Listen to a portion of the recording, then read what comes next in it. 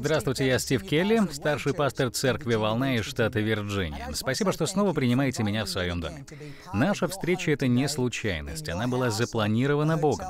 Бог работает сквозь времена и сроки. Библия говорит, что для каждого действия есть свое время — я верю, что эта программа тоже запланирована Богом специально для вас. Вы удивитесь, насколько Слово Божие полезно для повседневной жизни. Многие люди говорят мне, «Вы знаете, я смотрел вашу программу сегодня, и вы говорили прямо ко мне, так, будто бы вы знали, что у меня происходит в жизни. А все это потому, что Слово Божие имеет очень много смысла. Оно как помазанный здравый смысл на каждый день. Помните, хлеб наш насущный подавай нам на каждый день. Именно поэтому Слово Божие многогранно. Никуда не уходите. Прошу вас, оставайтесь с нами до конца программы. И я верю, что вы по-новому узнаете Господа Иисуса. Спасибо, что смотрите нас. Давайте прямо сейчас перейдем к посланию и послушаем Слово Божие, которое приготовлено специально для вас. Итак, наслаждайтесь Словом. Хочу поговорить сегодня об этой фразе «пресечь в корне». Вас может это удивить, но я работал ландшафтным дизайнером, ухаживал за газоном на настоящих футбольных полях. Это был прекрасный газон. Я тогда гордился этим, также работал в ботанических садах в городе Олбани в Австралии. Там росли тропические леса, великолепные розарии. У роз есть особенность. Если хотите вырастить красивую розу, вам нужно отстригать нецветущие ветви. А вот здесь мертвая ветка. Вам не нужно, чтобы силы растения уходили во что-то непродуктивное, и вы срезаете ее у основания, чтобы новые цветущие веточки могли лучше расти. А вы знаете, что в Библии много говорится о том, чтобы пресечь в корне, на корню, так сказать. Книга Екклесиаста именно об этом нам и повествует.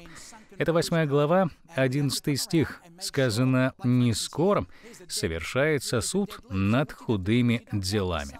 От этого и не страшится сердце сынов человеческих делать зло.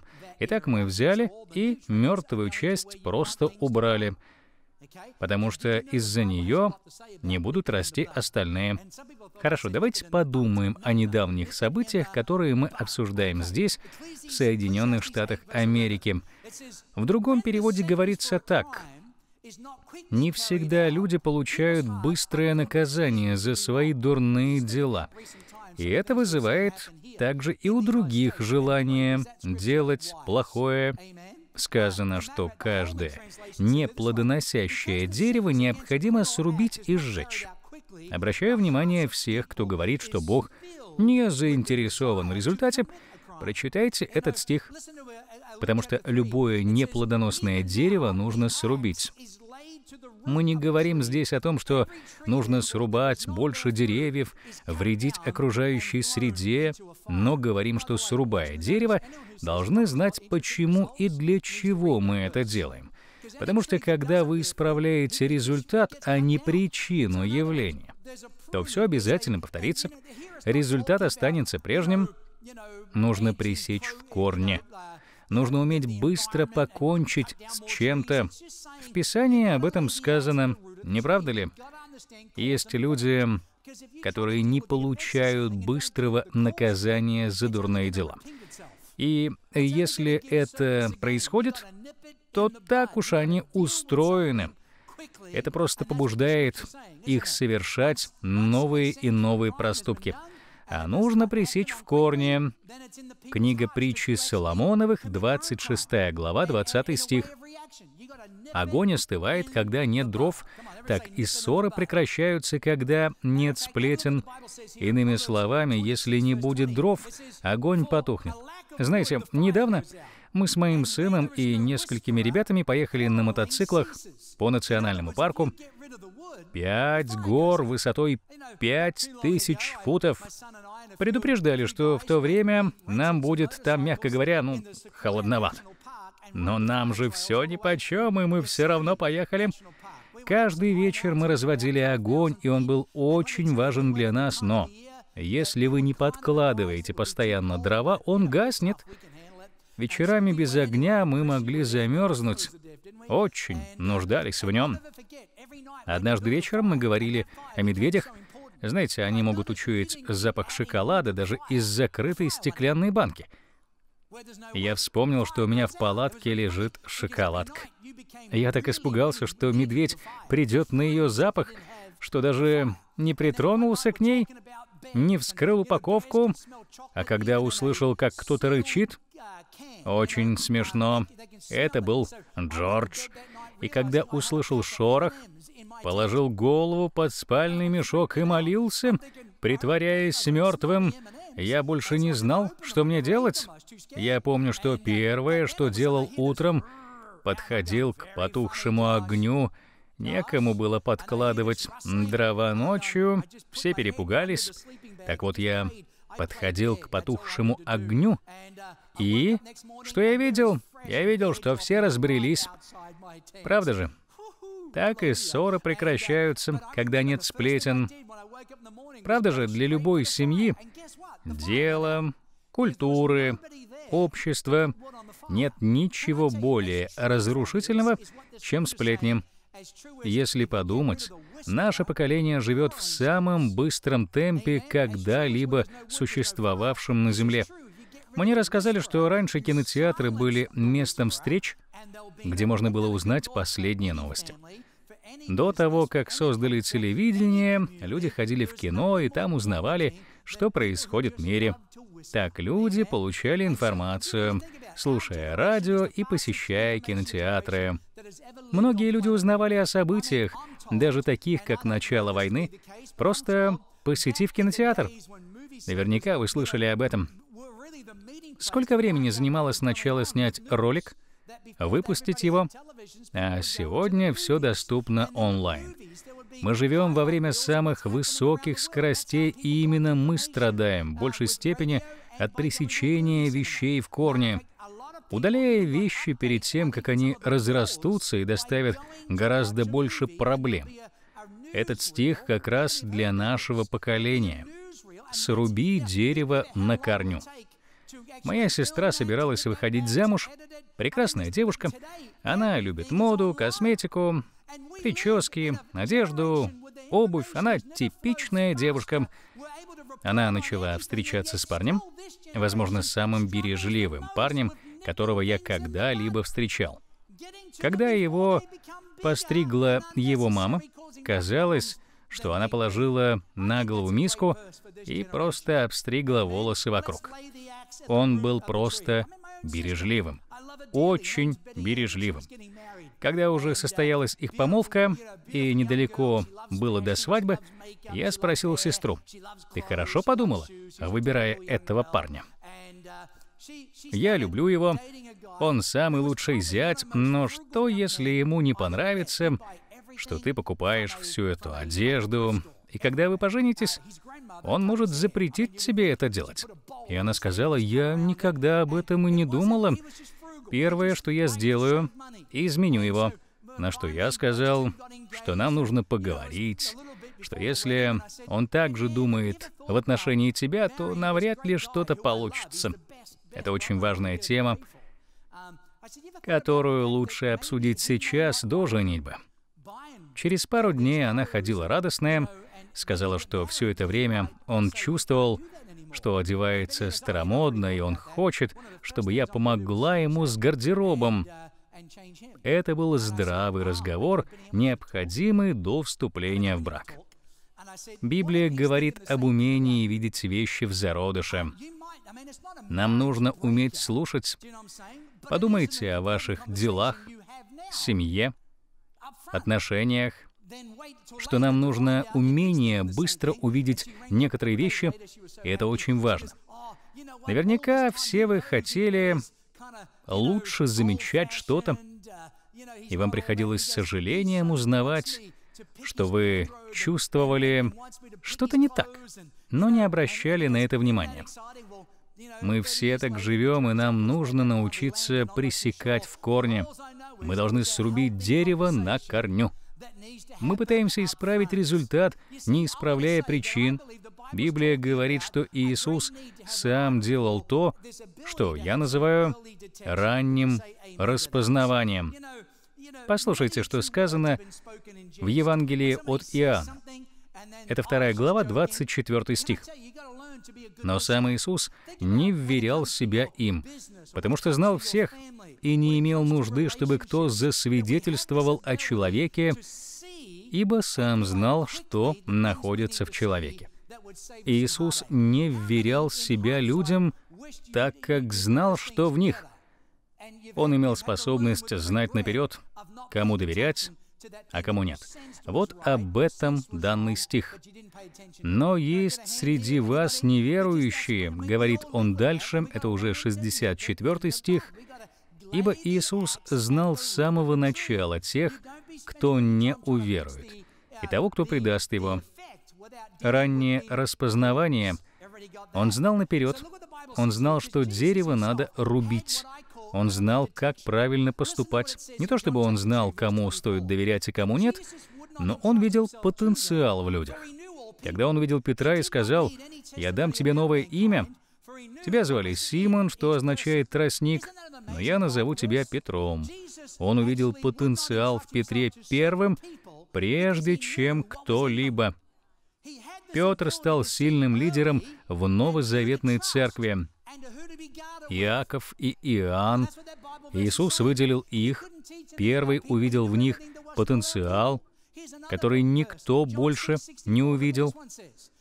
Бог, даруй нам эту способность в наших делах, в нашем мире, взаимоотношениях, дружбе, с нашими детьми, чтобы мы могли видеть потенциал наших супругов. Подумайте об этих стихах. Подумайте о работе военных, когда, кого и как обучать, куда посылать, как вести военные действия. Если бы в духовной жизни мы могли видеть врага заранее, способность видеть заранее, как сказано в Библии, замечательно. И Иисус обладал ею. Я читаю этот стих и говорю, «Бог, надели меня этой способностью, она мне так необходима». Послушайте, что говорит Иисус об идее распознавания потенциала в Евангелии от Марка 4 главе. Это 28 стих. «Земля сама по себе родит зерно.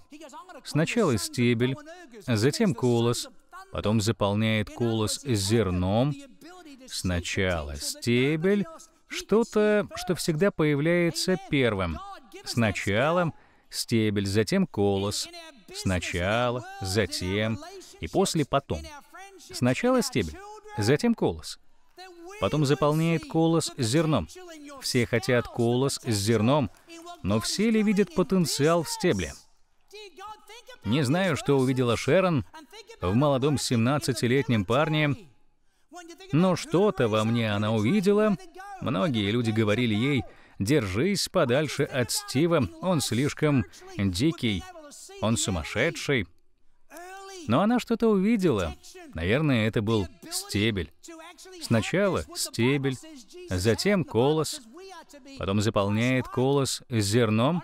Иисус учит нас этой способности видеть в людях потенциал не в ситуациях, не в жизни, но заранее. Видите ли вы потенциал в своем ребенке, в своих делах? Запомните, сначала идет зелень. Джордж Вашингтон был шокирован, когда Бенни Макдональд сделал не только с ним, но и с его нацией и будущим то, что сегодня называется Соединенными Штатами Америки. Бенни Макдональд, известнейший предатель в американской истории, без сомнения. Джорджа Вашингтона очень расстроило то, что он этого не предвидел. Считал Макдональда равным себе, он был бесстрашен, настоящим бойцом, Поэтому Вашингтон был шокирован, когда Макдональд оказался предателем и передал американские стратегические данные британцам.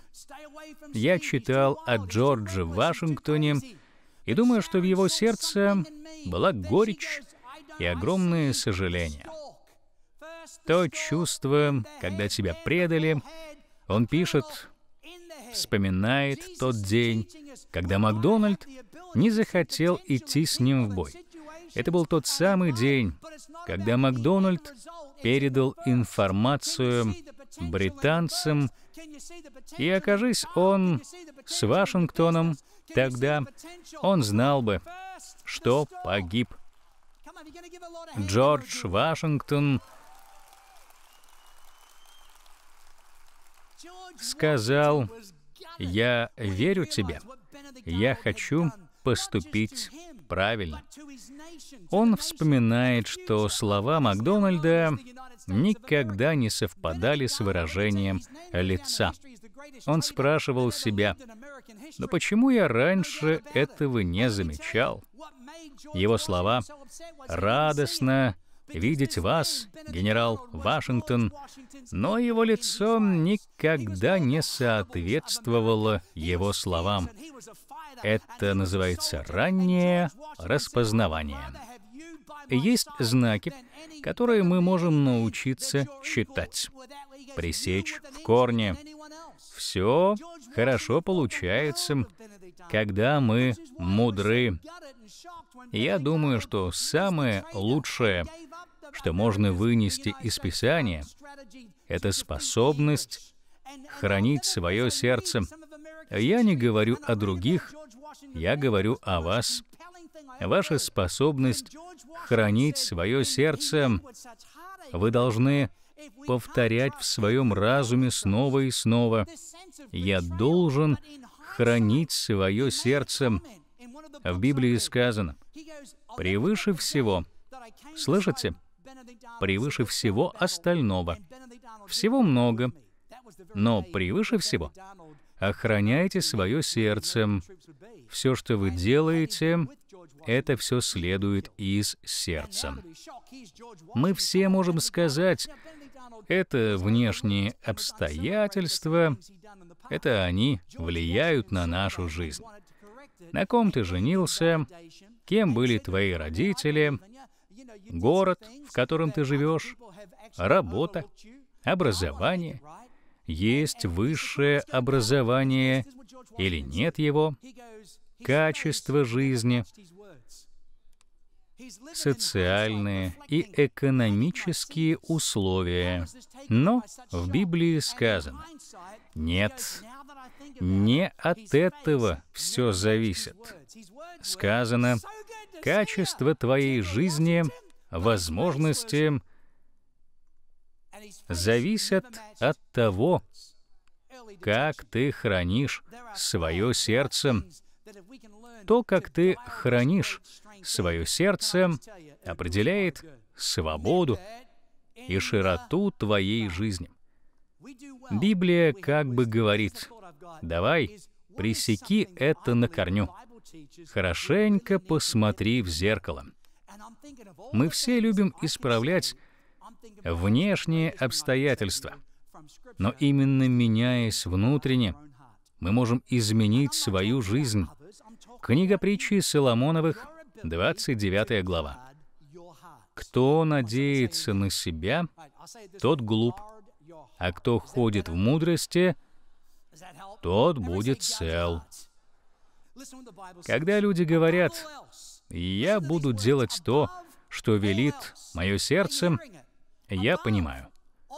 Но Библия говорит, что нельзя доверять своему сердцу, что тот, кто слушает его, тот глупец. В книге Иеремии, в 19 главе, говорится так. Сердце очень больное. Кто же может понять его? Кто-то говорит, что Библия велит следовать своему сердцу, но она говорит, что сердце больно. Мы не можем доверять сердцу. Аминь. Притчи Соломоновы, третья глава. «Надейся на Господа всем сердцем твоим, и не полагайся на разум твой. Во всех путях твоих познавай Его, и Он направит стези твои, потому что Господь будет упованием твоим и сохранит ногу твою от уловления. Библия говорит, что если ты не заботишься всерьез о своем сердце, то болезнь обязательно постигнет тело. Чистое сердце делает жизнь прекрасной, но зависть, отсутствие Бога в сердце, непрощение, обиды — все это делает тело больным. Не все те внешние обстоятельства на сердце влияют, а внутреннее состояние сердца влияет на нашу жизнь. Библия говорит, что человек может мыслить по сердцу. Сердце может также думать, но нельзя ему доверять. Наверняка вы согласны со мной. Вообще в Библии очень много говорится о том, чтобы пресечь что-то в корне. Екклесиаст постоянно ссылается на эти слова. Он говорит, не скоро совершается суд над худыми делами. От этого и не страшится сердце сынов человеческих делать зло. В другом переводе говорится, не всегда люди получают быстрое наказание за свои дурные дела. И это вызывает у других желание делать плохие вещи. Сказано, что каждое неплодоносящее дерево необходимо срубить и сжечь. Обращая внимание всех, кто говорит, что Бог не заинтересован в результате, посмотрите внимательно на этот стих, и тогда вы все поймете. Потому что любое неплодоносное дерево нужно срубить. Мы не говорим здесь о том, что нужно срубать больше деревьев, вредить окружающей среде, но говорим, что срубая дерево, мы должны знать, почему и для чего мы это делаем. Потому что когда вы исправляете результат, а не причину явления, то все обязательно повторится. Результат останется прежним. Нужно пресечь в корне. Нужно уметь быстро покончить с чем-то. В Писании много об этом говорится. Если люди не получают быстрого наказания за дурные дела, то так уж устроенным это побуждает совершать новые проступки. А нам все нужно пресечь в корне. Иными словами, если не будет никаких дров, огонь потухнет. Соломон говорит об этом.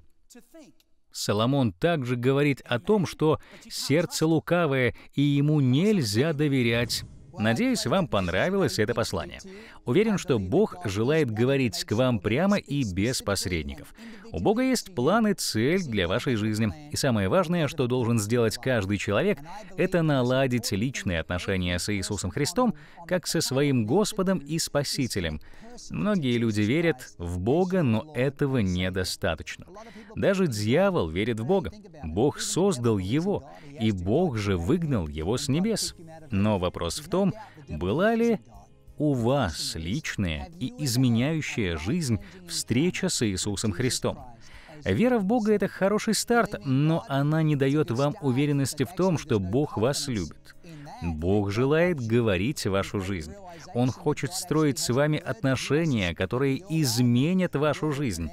И я хотел бы помолиться за вас, если вы не знаете Господа Иисуса как своего личного Спасителя. Возможно, когда-то вы уже произносили эту молитву, но больше не живете так, как раньше. Я буду верить вместе с вами, что ваши отношения с Иисусом будут восстановлены.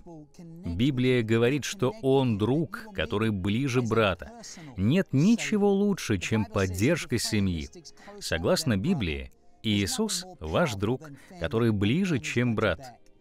Если вы никогда не приглашали Иисуса в свою жизнь, или же вы не уверены в том, делали вы это раньше или нет, или же если вы не живете для Бога так, как раньше, и хотите восстановить свои отношения с Богом, то я хочу предложить вам помолиться. Просто скажите, «Дорогой Иисус, войди в мою жизнь и прости все мои грехи. Я принимаю Тебя как моего Господа и Спасителя». Я верю сердцем и исповедую устами, что я христианин и мои грехи прощены.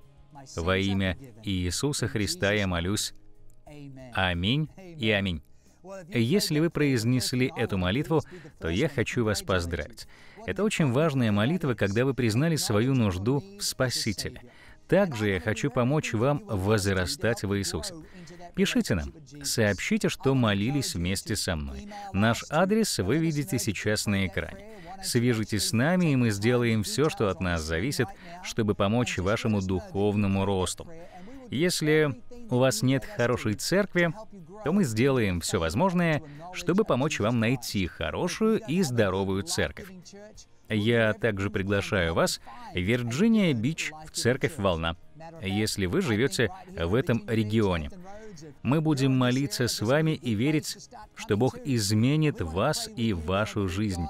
Пожалуйста, найдите время и свяжитесь с нами. Дайте знать, как это послание коснулось вас. Но самое главное, сообщите, что вы произнесли молитву покаяния. Пусть Бог благословит всех вас.